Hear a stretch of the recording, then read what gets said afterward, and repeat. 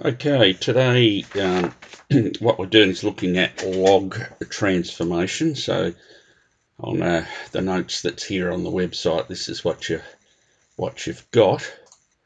Um, so log transformation, log's just a function. All right, and we'll get to that in a minute as to what when we use the calculator. Um, all right, so here's the information we've got. Um, we've got the gross domestic product, GDP in dollars, and expected lifespan in people for 12 countries. So the gross domestic product is our EV, and our RV is the lifespan. So we're kind of going, having a look to see whether with a higher gross domestic product, do you live longer or not? That's essentially what we're looking at here. All right. So we're given a little bit of information. We're told that, actually, let's keep that there. So we're told the association is non-linear and we're using a log x transformation. So we'll have a look and see what that means to us in a minute. All right, so uh, what do we need to do? Well, we need to find a regression line before we want to do some stuff because we're asked to linearize the data, find the regression line, and then predict from that. All right, so information in our calculator go to the statistics. There we've got nothing that's there so we need to uh, enter uh, the information.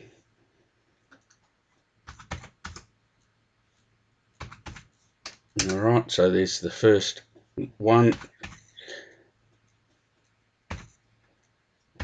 And the next one we've got 12 altogether. I know it's a bit hard to see on that screen there, those numbers, but don't forget the scan of the um, the notes is on the website there.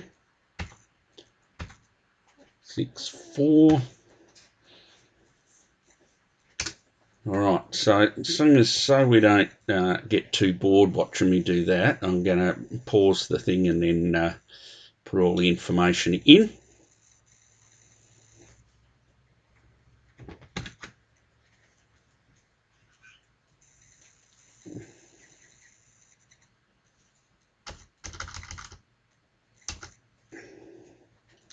Or not. Doesn't look like it wants to do that for me.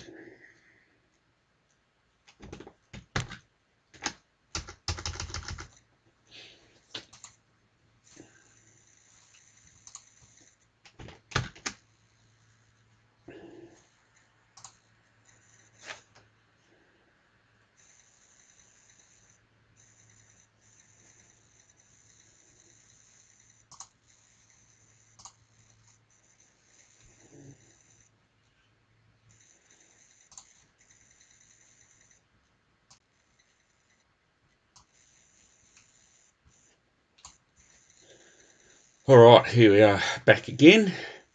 Um, so now I've entered all that information in. And it says the association is nonlinear using a log x transformation. So x, remember, x is the, here our gross domestic product, our EV is our x. So we want to do an x squared, uh, sorry, log x a log x. So we want to do the log of these gross domestic products. So again, remember when we want to do a calculation to a whole list of stuff, so we want to take the log of all of those numbers there.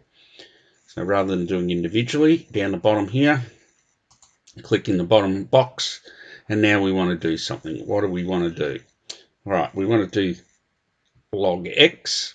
So we want to go to our keyboard and so in our keyboard, the log X one that we want to use is this one right here. So base 10, the log 10. So we'll click on that and then that's what comes up.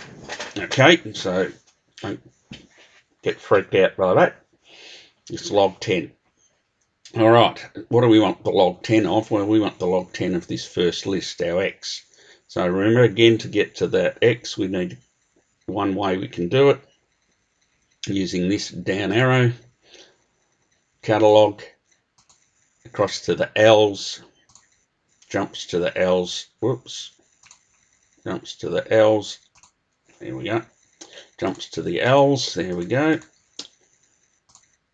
list one, input that, Better close my brackets just in case. And then I'll go EXE and there it is. It's done it all. So it's calculated all of those things. All right, let me get rid of the keyboard. All right.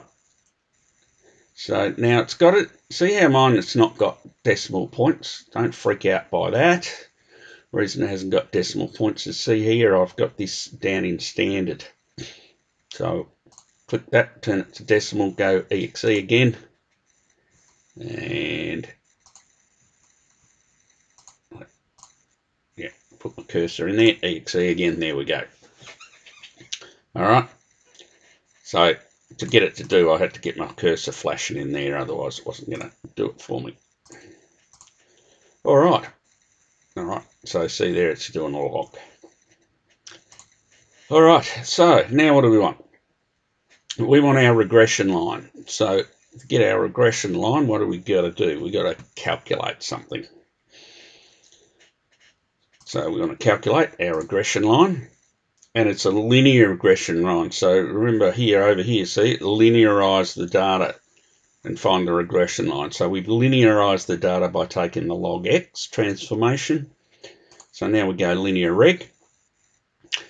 So now our X list is the log X transformation. So we put that in list 3. So we're changing our X to list 3. Our Y is still list 2.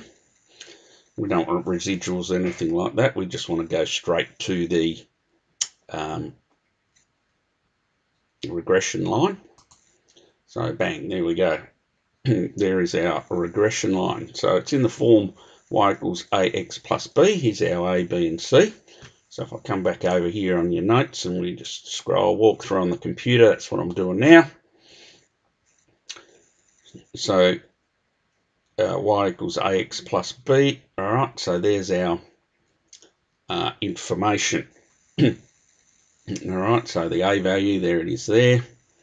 The b value, there it is there. The 52, the r, not sure, we weren't asked for that, but it's always handy to put it, so 0.89. And just I've written here a reminder that our x is, because it's the GDP, but it's the log of the GDP, all right? So this x here is how the calculator represents it, of course, in terms of x, but remember, because we're using list 3, and list 3 is the log of the GDP. So we need to write our um, equation in those terms of our, instead of y and x, in terms of our variables, which are GDP and lifespan, or log of GDP and lifespan, I should say. Now you have a look here, there's like five, four, three, four, five figures in these numbers. It's a bit hard to know what to do. All right, so I'm going to use four. So if I use four significant figures, so the Y is the lifespan, A is the 5.594, X is log GDP, plus 54.28. So that's our equation. And remember, we need to always write our equation in terms of our variables. A little reminder, you know, VCAA's not going to uh, give us all the marks if we don't, all right? All right, so then it asks us to predict the lifespan in a country of a gross domestic product of 20,000 correct to one decimal place. All right, so we need to use our calculator for that. So we need to just go back to our main screen. There's, there's that. All right, back to our main screen. There we are. Oh, let's get rid of all that stuff. All that looks exciting. Um, so let's clear all of that. All right, so if we so we're putting 20,000 in here in our gross domestic product. All right. So when we go up here, we want our lifespan equals 5.549. So I'll do that on the calculator over here. 5.5 94949 times, what do we want to times it by? The log of 20,000. So log, remember, keyboard, this one here is the one we're using. We're always using this log 10 one. All right, people who are in, doing other maths might use different ones, but for us in further maths, it's always this one. Times log 10, all right, so that's what the does we put the number in here now, so 20,000, 20,000. Close your brackets. If you don't close your brackets, your calculator will add the 54.28 before it takes the log.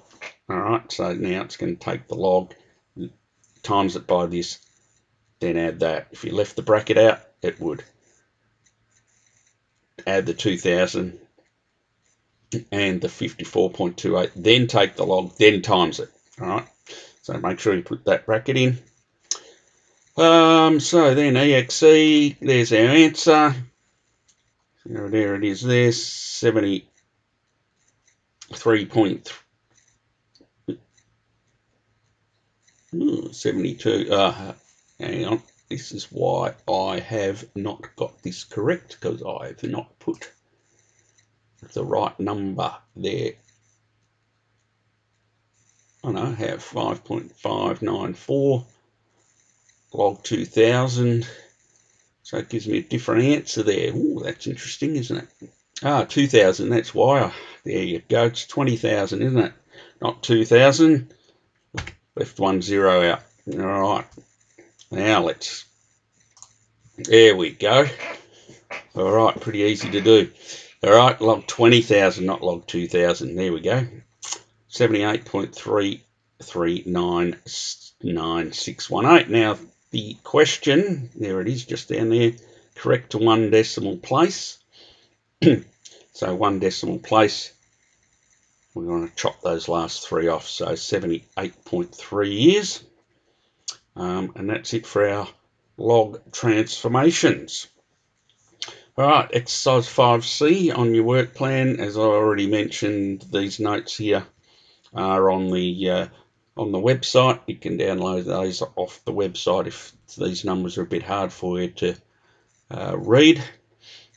Uh, and don't forget, any questions, make sure you ask me.